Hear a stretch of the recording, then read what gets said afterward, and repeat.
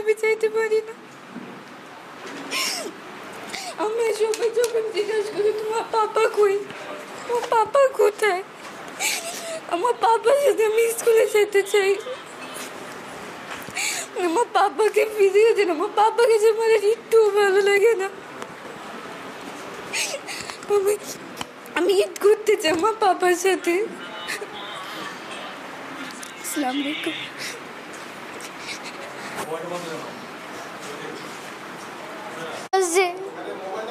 আমি আমার বাবাকে ঈদ করতে পারিনি, রোজা করতে পারিনি। আমাদের অনেক কষ্ট লেগেছে, আমার বাবা কেন এখানে নেই?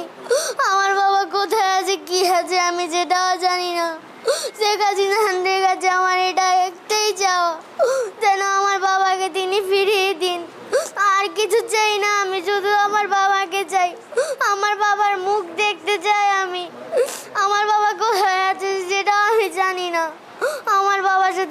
করতে পারি না, কিচ্ছু করতে পারি না।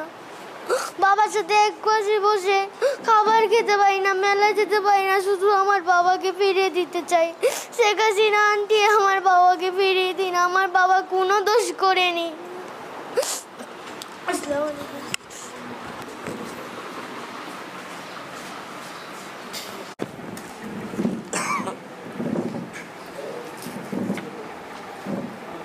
বিসমিল্লাহ রহমান রহিম।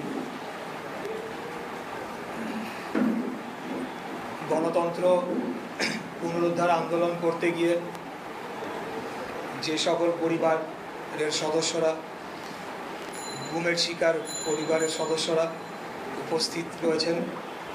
আমাদের নেতা দেশনায়ক জনাব তারেক রহমানের নির্দেশে আমরা প্রতি বছরই আপনাদের সাথে কম বেশি চেষ্টা করি। আপনাদের কষ্টটা যাতে কিছুটা হলেও লাঘব করা যায় সেই চেষ্টাটা আমরা করি। আসলে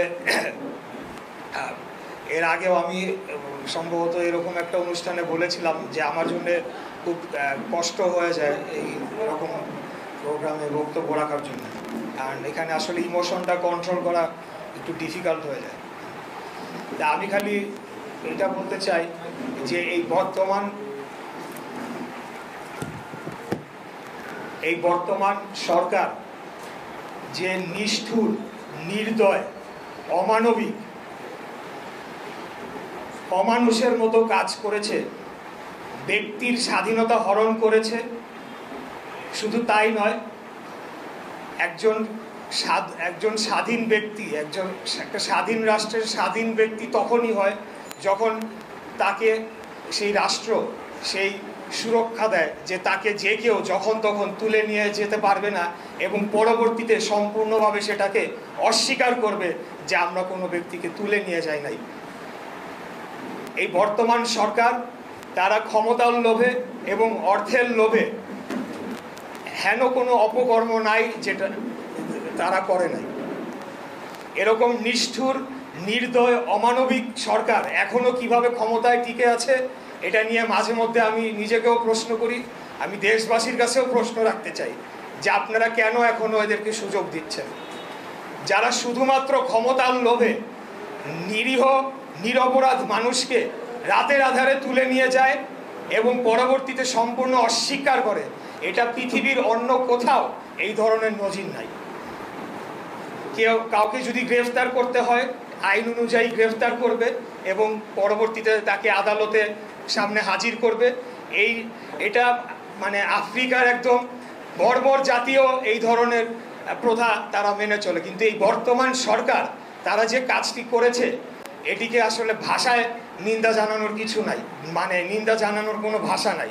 আমি শুধু আপনাদের সামনে প্রতিজ্ঞা করতে চাই, আমাদের নেতা দেশনায়ক তারেক রহমানের নেতৃত্বে যেভাবে আজকে সারা বাংলাদেশে জাগরণ সৃষ্টি হয়েছে, অচিরেই ইনশাল্লাহ এই খুনিদের আমরা যে করেই হোক, যে কোনো মূল্যেই হোক, এই অবৈধ ক্ষমতার মসনদ থেকে অবশ্যই অবশ্যই অবশ্যই আমরা তাদেরকে আমরা ক্ষমতার থেকে নামাবো এবং শুধু তাই নয়, আমরা তাদেরকে বিচারের কাঠগড়ায় দাঁড় করাবো, বিচারের কাঠগড়ায় দাঁড় করিয়ে এই প্রত্যেকটি ঘটনার সাথে সকলেই যারা যুক্ত আছে, সকল পর্যায়ে তাদের সকলের সুষ্ঠু বিচার নিশ্চিত করার মাধ্যমে আমরা এর জবাব দিব ইনশাল্লাহ আমি আসলে মানে এই বিষয়টা নিয়ে অতি সম্প্রতি অনেক পড়াশোনা করেছি। আমি অনেকগুলা human, US human rights report সহ বিভিন্ন মানবাধিকার সংস্থার রিপোর্টগুলো আমি পড়েছি। পড়ার পরে আমি আবার পড়েছি দুইবার, তিনবার করে পড়েছি আমার বিশ্বাস হয় নাই মাঝে মধ্যে যে এই ধরনের ঘটনাও ঘটে চলেছে এবং আমরা সেটা আমাদেরকে অনেকটা অজান্তেই মানে আমাদের কাছে সেটা ধামাচাপা দিয়ে তারা এই ধরনের গুম খুনের কাজগুলো করছে। এখনও তারা অনেক গোপন কারাগার তারা পরিচালনা করে সারা বাংলাদেশে আয়নাঘর যার মধ্যে অন্যতম একটি। এরকম অনেক গোপন কারাগারে অনেক অনেক মানুষ বন্দী রয়েছেন। আমাদের আজকে যারা, যাদের যেই সাতটি পরিবারকে নিয়ে আমরা প্রোগ্রামটি করছি, আমার বিশ্বাস তারাও হয়তোবা এই কোনো গোপন কারাগারে তাদেরকে নির্দয়ভাবে বন্দি করে রাখা হয়েছে। এটার রহস্য অবশ্যই আমরা উদ্ঘাটন করব। যেটাই হোক না কেন, সেটা আমরা অবশ্যই আমরা খুঁজে বের করব। এবং এর পিছে জড়িত যে সকলেই আছে, তাদের দৃষ্টান্তমূলক শাস্তি দেওয়া হবে যাতে আগামী দিনে এই স্বাধীন বাংলাদেশের মাটিতে এই ধরনের গর্হিত অপরাধ করার সাহস কোনো ব্যক্তির দ্বারা না হয়। এই দেশটা কারও বাবার সম্পত্তি না, এই দেশটা কারও জমিদারি না, এই দেশটা কারও দান খয়রাতির মাধ্যমে আমরা পাই নাই।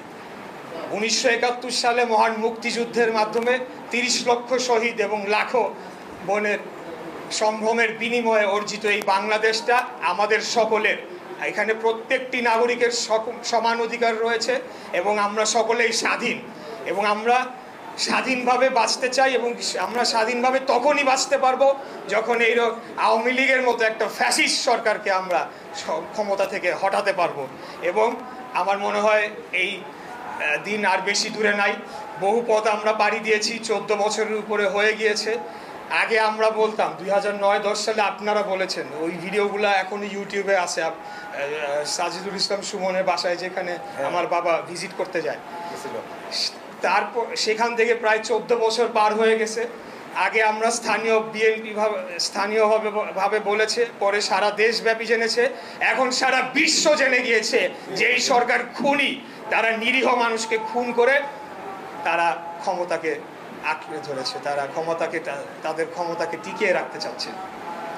আমি একটু আগে যে বাচ্চাটি এখানে কথা বলছিল, সে একটা কথা বলছিল, আমি খালি মানে ও তার কথা রেশ ধরে বলতে চাই। বর্তমান যিনি প্রধানমন্ত্রী, স্বজন হারানোর বেদনা কি জিনিস? সেটা তো আমার মনে হয় না যে তাকে শেখানোর কিছু আছে। ওনার থেকে মানে বেশি ভালো তো কেউ জানার কথা না। তো উনি কেন এখনও এই যে ঘটনাগুলো ঘটেছে, সেগুলা সুষ্ঠু বিচারের পদক্ষেপ নেয় নাই? এই স্বজনদেরকে ফিরিয়ে দেওয়ার জন্যে পদক্ষেপ নেয় নাই? এটির কারণে কিন্তু জনমনে যথেষ্ট সন্দেহ রয়েছে। কেন এখনও ওনার তরফ থেকে পদক্ষেপগুলো আসবে যাই হোক, এক সময় না এক সময় অবশ্যই সুষ্ঠু সঠিক তদন্ত হবে এবং এই সকল কিছুর রহস্য উদ্ঘাটন হবে এবং যথাযথ বিচার হবে। ইনশাল্লাহ মহান আল্লাহ তালার কাছে এই দোয়া করি। আমরা এই সামান্য কয়েকটা গিফট দিয়ে আর মাঝে মধ্যে আপনাদেরকে ডেকে আপনাদের কষ্ট আমরা দূর করতে পারব না আপনাদের কষ্ট এটা আমরা কোনো কোনো দিনই আমরা এটাকে মানে পুরাপুরিভাবে দূর করতে পারব না। খালি আপনাদের কাছে প্রতিজ্ঞা করতে চাই আপনাদের পরিবারের সদস্য হিসেবে ইনশাল্লাহ আমাদের নেতা নির্দেশ দিয়েছে যে কোনো মূল্যে যে কোনো প্রয়োজনে যাতে আমরা আপনাদের পাশে থাকি, পাশে ছিলাম, আছি এবং থাকব ইনশাল্লাহ। এই বলে আমার বক্তব্য শেষ করতে চাই। খোদাফেজ বাংলাদেশ জিন্দাবাদ, বাংলাদেশ জাতীয়তাবাদী দল জিন্দাবাদ। শহীদ রাষ্ট্রপতি জিয়াউর রহমান অমর হোক, দেশনেত্রী বেগম খালেদা জিয়া জিন্দাবাদ, আমাদের নেতা দেশ নায়ক জনাব তারেক রহমান জিন্দাবাদ। আসসালামু আলাইকুম।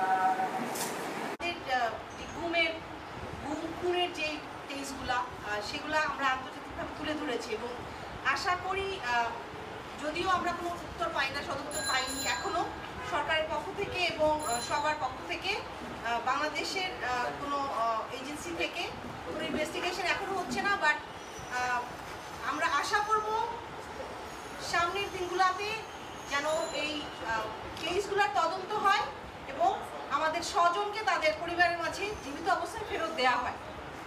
ধন্যবাদ।